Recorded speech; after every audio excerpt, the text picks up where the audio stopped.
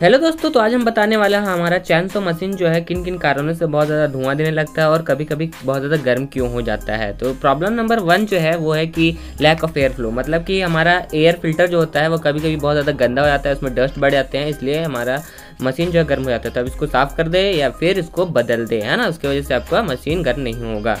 Problem number two जो है वो इंजन आइडल स्पीड मतलब कि हमारा जो इंजन है कभी कभी रेस हो जाता है ना? तो रेस होने की वजह से उसमें से बहुत ज़्यादा धुआँ निकलने लगता है और गर्म हो जाता है मशीन। तो आप क्या कर सकते हैं कि इसका स्पीड सेट कर दीजिए, मशीन ठीक हो जाएगी। प्रॉब्लम नंबर थ्री है टू मच ऑयल आप बहुत ज़्यादा बस तेल ही डाल दीजिएगा तो इसकी वजह से मशीन गर्म हो सकता है। तो इसमें आप क्या करिए प्रॉपर रेशियो में two two L two two oil इसमें मिक्स करिए तो आपका मशीन जो है बहुत ज़्यादा हीट नहीं होगा और स्मोक भी नहीं देगा, है ना?